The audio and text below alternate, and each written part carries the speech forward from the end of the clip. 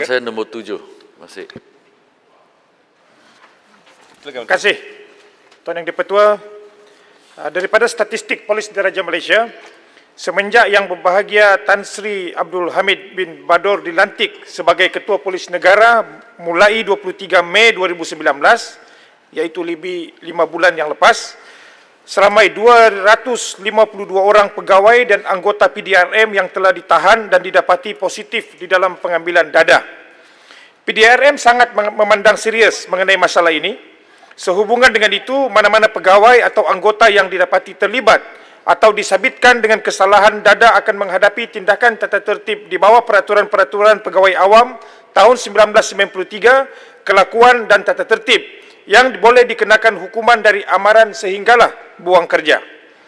Sekiranya disabitkan kesalahan di mahkamah, pegawai atau anggota boleh dikenakan tindakan di bawah peraturan 33 peraturan-peraturan pegawai awam tahun 1993 kelakuan dan tata tertib yang mana boleh dikenakan hukuman sehingga buang kerja. Selain daripada itu, tindakan-tindakan tata tertib di bawah peraturan 37 peraturan yang sama di bawah kesalahan-kesalahan yang boleh dikenakan hukuman sehingga turun pangkat dan buang kerja.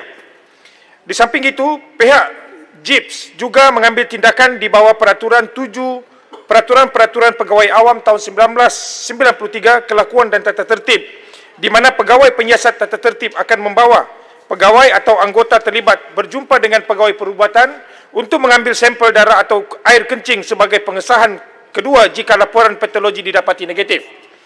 JIP juga telah melaksanakan program MyPS Indah bagi program pemulihan yang dianjurkan oleh bahagian agama dan kaunseling khusus kepada warga PDRM yang terlibat dengan penyalahgunaan dada bagi kes-kes yang tidak dituduh di mahkamah kerana laporan ujian air kencing daripada patologi didapati negatif. Terima kasih. Soalan tambahan Yang Berhormat Kempung. Ya, 250 anggota polis ditahan dalam 5 bulan sejak lantikan IGP baru. Maksudnya 50 anggota polis dalam sebulan. Ini satu angka yang sungguh alami. Uh, soalan saya, apakah dasar kerajaan untuk memberi ganjaran reward kepada anggota polis yang melaporkan kes-kes rasuah, kes-kes uh, kegunaan dada dan kesalahan sebagainya di kalangan PDRM. Terima kasih.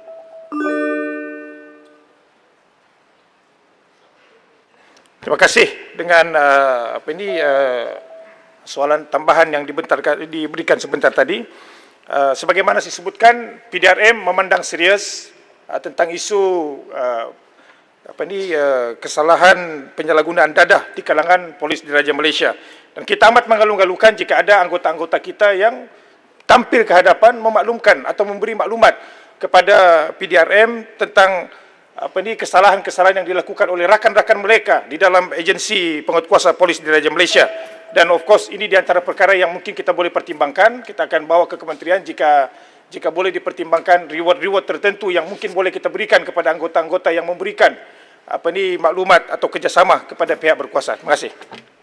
Soalan tambahan kedua, silakan Kina Batangan, silakan. Terima kasih Tan Sri. Ah, Muhammad Menteri, nampaknya dada ini masih merupakan ancaman utama untuk negara kita. Bukan sahaja daripada pihak orang awam, anak muda, orang gelindangan, tetapi termasuk juga penguatkuasa.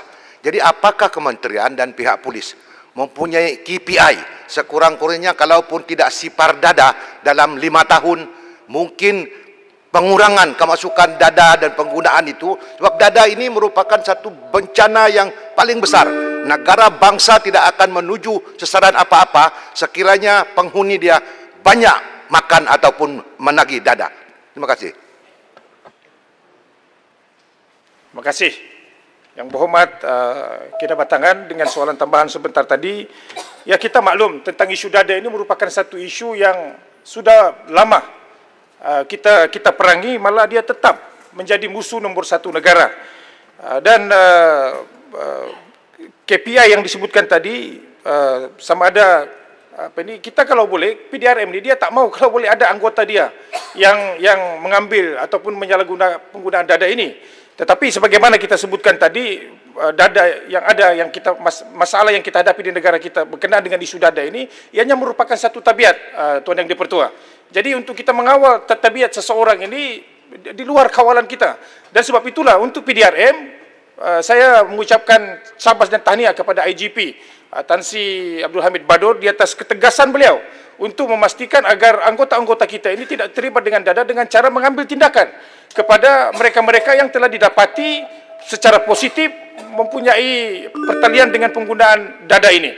Dan ini akan diteruskan dan saya cukup yakin di bawah kepimpinan IGP yang ada pada hari ini sebagai apa ni uh, langkah yang yang yang yang cukup berani di mana beliau mengakui sendiri bahawa terdapat anggota-anggota PDRM yang terlibat dengan penyalahgunaan dada dan satu perkara yang saya rasa perlu kita beri pujian kepada Tan Sri IGP dan insyaallah saya yakin uh, dengan usaha beliau kita akan dia akan berusaha untuk memastikan agar uh, isu penyalahgunaan dada di kalangan pegawai-pegawai polis ini dapat dikurangkan uh, seminima yang boleh. Terima kasih. Sekarang saya menjemput Datuk Seri M. Saravanan.